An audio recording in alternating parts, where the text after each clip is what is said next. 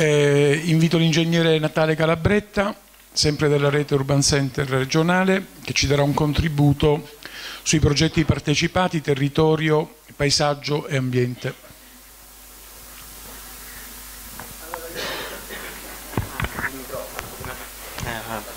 Facci ridere. Eh, dunque, allora io sono un po' qua come, come guastatore, insomma, chi, chi, mi ha preceduto ha fatto dei, eh, degli interventi insomma, importanti, insomma.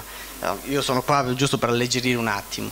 Il, il, discorso è questo, ne abbiamo sentito parlare molto spesso di, ehm, di partecipazione, però in realtà ehm, eh, ci siamo posti il problema presso eh, l'ufficio urbanistica della Regione Calabria, ci siamo posti il problema insomma, di far capire mh, come la gente comune, non, non, non i tecnici, non, eh, non i politici, possa in realtà utilizzare questo, questo, ehm, questo strumento, che in realtà eh, nella storia dell'urbanistica eh, da sempre, da quando sono nate le città, insomma, ha, ha, avuto, ehm, eh, ha avuto, sì una, una, forma di partecipazione, però sempre di alto livello, oppure all'interno, come diceva prima il professore, all'interno di, di stanze chiuse dove praticamente gli speculatori, piuttosto che i politici, piuttosto che i proprietari terrieri, no?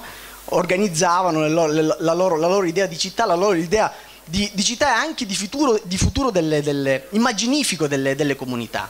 Questo era, era, quello a cui eravamo abituati, insomma, la gente comune, la casalinga piuttosto che il, il, lo studente non avevano accesso a questo tipo di decisioni, li subivano e basta, no? non, avevano, non potevano nemmeno intervenire.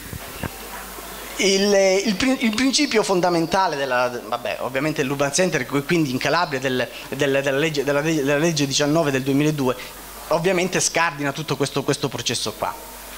E, ehm, eh, ovviamente far capire, far capire come eh, la gente possa in qualche modo immaginare la sua città e se, dal nostro punto di vista, ma perché è una nostra, una nostra difficoltà, principalmente nostra, è, è, cercare di far capire come utilizzare questo strumento.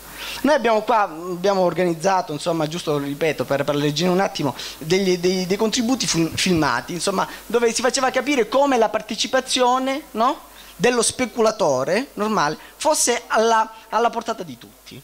No? Forse la portata di, e fosse, fosse, più che la portata di tutti fosse una cosa normale. E abbiamo preso come, come, come esempio l'inizio del film Mani sulla città di, di, di Risi, insomma, eh, di Rosi. E, e, questo era come veniva gestita la città. E noi di, di questo noi siamo consapevoli. È questo che dobbiamo superare. E lo facciamo vedere subito, speriamo che... Eh? Sì, no, perché volevo vedere se c'era il volume.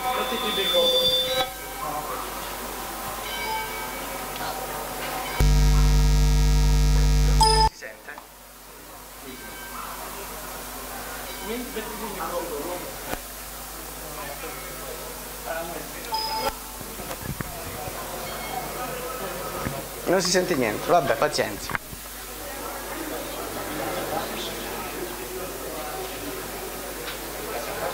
Aspetta che poi lo ripetiamo, eh. dovete, dovete, stare dovete, stare, dovete essere pazienti e poi lo ripetiamo. 60, 70 mila, eppure iniziamo a capo, va. Iniziamo a capo. Tutto dipende da il 5.000% di profitto. Lo, lo chiudiamo e lo rifacciamo. Allora, un attimo, riprendo un attimo l'attenzione. Così veniva gestita la città e questo era normale fino, fino ad adesso, insomma. Eh?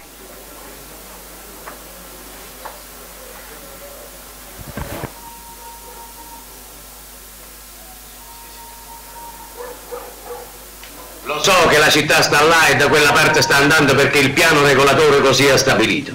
Ma è proprio per questo che noi da là la dobbiamo far arrivare qua. E ti pare una cosa facile? E cambiamo il piano regolatore. Che cosa? E noi cambiamo il piano regolatore. Non c'è bisogno. La città vai là e questa è zona agricola.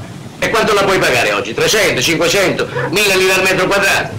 Ma domani questa terra, questo stesso metro quadrato, ne può valere 60, 70 mila e pure di più.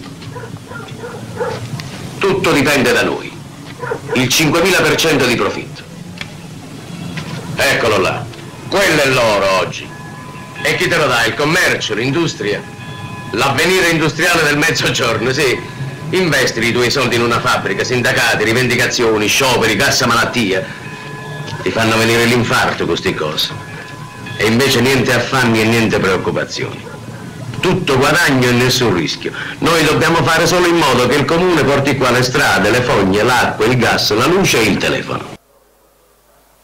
Signori, più partecipazione di questa non esiste. È partecipazione questa. Cioè, lo speculatore partecipava alla vita, al, no, alla storia della città.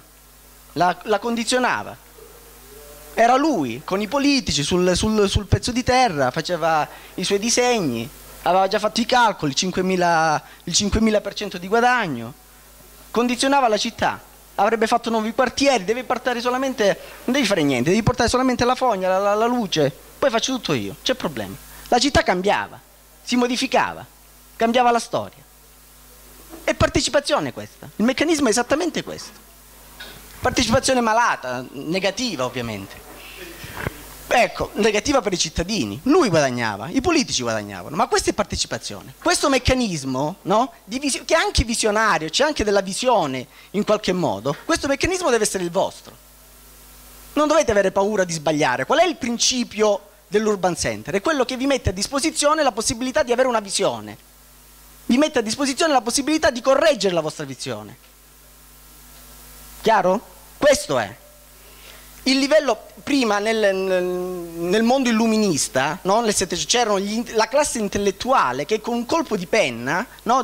si, eh, verificava il fatto che ma perché le merci devono passare da qua a fare il giro dell'Africa? Ma perché non si, non si potrebbe staccare l'Africa dal, dall'Asia? E con un colpo di penna immaginavano, in modo anche ingenuo, immaginavano il, lo, il, il passaggio di Suez. Ma era una cosa assolutamente immaginaria. Poi ci sono a, a, immaginaria, immaginifica, però avevano, avevano ragione, poi con, con, i secoli hanno avuto ragione. E questo è quello che voi dovete fare. Utilizzare la vostra fantasia per immaginare una vostra città.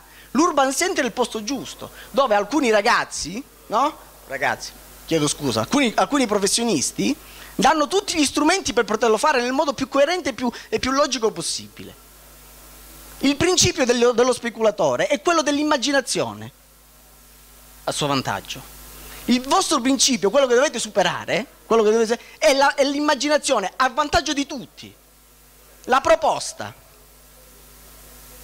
Chiaro? Questo è, volevo, volevo, volevo, volevo Che cosa poi, adesso chiudiamo insomma, insomma con, con uh, alleggerendo ulteriormente, qual è il principio dell'immaginazione? Il principio dell'immaginazione ulteriore, quando poi diventa in qualche modo grottesca, si traduce nel filmato che adesso vedremo, che fa parte della storia della televisione italiana. Che loro hanno visto? Eh? Che molti, hanno, eh sì, che molti hanno visto, proprio in diretta probabilmente. Il concetto mi consente. Il principio, il principio è semplice, è quello, è lo stesso che cambiare l'aria in una stanza. Che cosa facciamo noi? Apriamo o due finestre o una porta e una finestra e allora si crea una... In questo caso si crea un movimento circolatorio di aria e si cambia l'aria in una stanza. Io propongo di aprire una finestra in Valpadana, in quanto la porta ce l'abbiamo già, da Trieste a, nella, nella, nella, nella, nelle Venezie C'è un solo punto dove aprire la finestra, qui, sul passo del Turchino. Che cosa intende per spianare il passo del Turchino? Abbassarlo sino al livello del mare senza tutte quelle curve. Tanta della gente, credo. Sì, hanno circa 4.000 persone che, che potrebbero eh, benissimo spostare. Ho capito. Ma lei si rende conto quante migliaia di persone muoiono per via della nebbia? E quanti migliaia di miliardi di danni e fa, provoca la nebbia? Se ci va anche Cina qualche volta, tutti gli anni. Ed ho visto...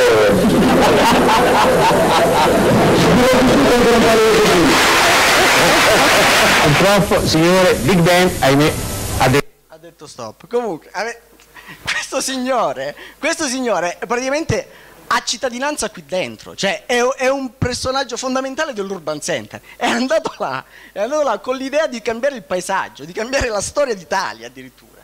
No?